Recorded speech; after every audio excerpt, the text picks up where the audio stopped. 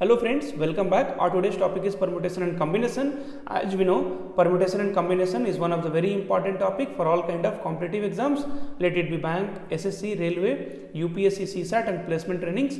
In all the exams, you can find questions from permutation and combination. So friends, uh, this is the third video on permutation and combination. I will suggest you to please watch the previous videos, previous two videos on permutation and combination so that you understand the basic concept and then these questions will become easy for you. So friends, starting from the question number one, which is a very good question for today's lecture. So in how many ways can the letters of the word leading be arranged in such a way that all the vowels comes together? Now friends, we have the word L E A D I N G. Now as we know in alphabets we have 26 alphabets are there. In that we have five vowels and the vowels are nothing but A, E, I, O and U. So we have five vowels. So we have to arrange the letters of the word in such a way that all the vowels comes together. So friends you see here how many vowels we have? We have here three vowels E, A, I. Now their condition is what condition they have put in the question that the vowels should always come together. That means E, A, I should always come together and the remaining and the remaining letters they have not put any condition. And the remaining letter they have not put any condition. Now friends what i am going to tell you here see if you want all the vowels to be together if you want all the vowels to be together then put all the vowels inside a box. See if you want two person if you want two person to be always together then put them inside a house. So they will be always inside that house right? So you put or you put them inside a box. Then they both will be together. So here if they if all three vowels if you want to be together then put them inside a box. Then they will be always together. See among themselves they will get arranged but they will be counted from outside is only one.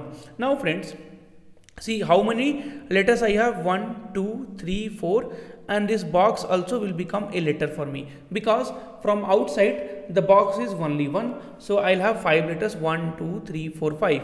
So five distinct letter. So five distinct letter can be arranged in how many ways?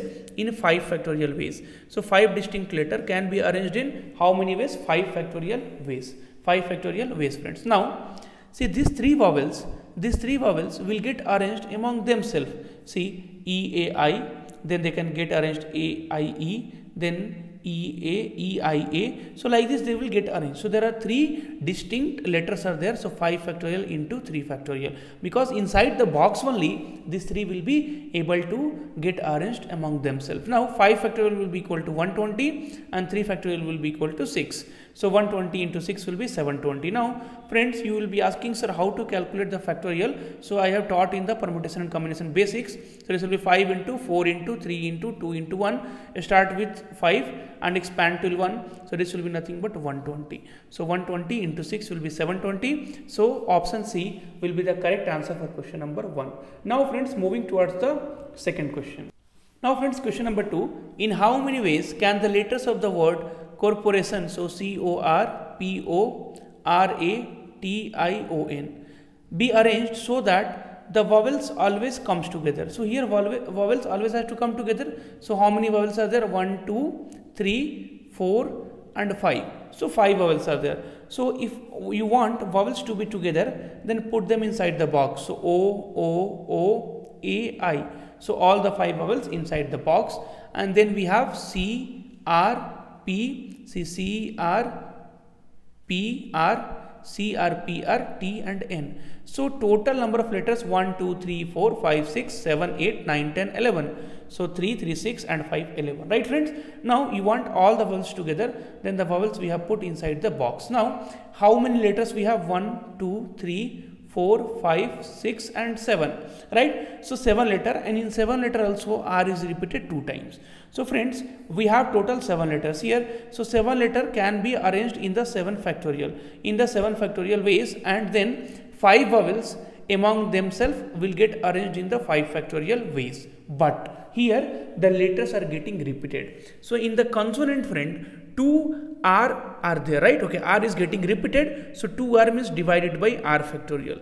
If we'll talk about vowel then 3 o are getting repeated right? O is getting repeated 3 times then divide it by 3 factorial. And that's what is your answer. See if nothing is repeated then total number is 7 factorial and this vowels will get arranged among themselves is nothing but 5 factorial right? But here r is getting repeated so 2 factorial o is getting repeated. That means nothing but 3 factorial. Now if you'll solve you will be able to get the answer. So 7 factorial will be 5040 and 5 factorial will be nothing but 120 and divided by see 2 factorial is 2 and 3 factorial is 6 so 6 into 2 will be 12 so this will get divided by 10 times so 50400 that means there are 50400 ways are there in which the letters of the word corporation can be arranged and then all the vowels will come together.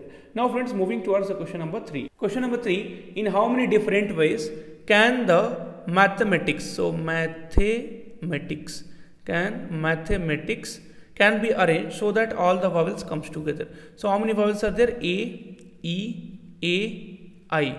So there are four vowels are there. So now four vowels I will put inside the box. So A, E, A, I and then consonant M, T, H, M, T, C and S. So total 3 plus 3 6, 6 plus 5 11. So 3 and plus 4 7, 7 plus 4 is 11. Now friends, so 1, 1, 2, 3, 4, 5, 6, 7, 8.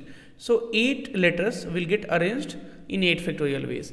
And then 4 vowels in 4 factorial ways.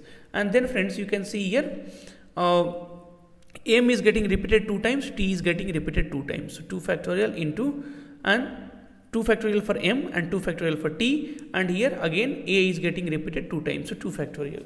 Now friends this we can solve 8 into 7 factorial into 4 factorial will be nothing but 24 and divide by 8 so 8 and 8 gone now this will be 5040 into 24 so if you multiply this you will be able to get the answer so 0 24 into 4 is 96 and then again 24 into 5 will be 120. So 120960 will be the answer. If you want you can multiply here friends 24. So 0, 16, 20 and then 0, 8, 0, 10. So you can see 120960 that means option C will be the correct answer for question number 3. So friends I hope you would have understood all the three questions and all the three questions were very much important for your exam. So thanks for watching the video.